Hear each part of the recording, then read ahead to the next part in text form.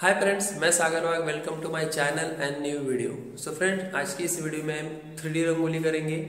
Black colour की रंगोली और white colour की रंगोली का यूज़ करके एक थ्री रंगोली करेंगे। कौन सी थ्री रंगोली ये आपको टाइटल में और थंबनेल में पता चल ही गया होगा। नहीं पता है तो इस वीडियो को एंड तक देखिए, आपको पता चल जाएगा।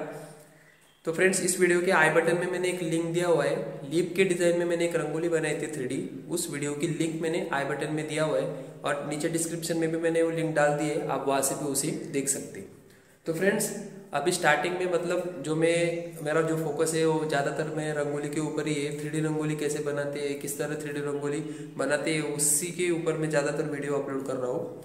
तो इस वीडियो को एंड तक देखिए। वीडियो पसंद है तो वीडियो को लाइक करना, चैनल पे ना तो सब्सक्राइब करना, क्योंकि इस चैनल पे आपको इसी तरह के आर्ट और आर्ट रिलेटेड इन्फॉर्मेशन मिलती रहती है। तो चलिए फ्रेंड शुरू करते हैं।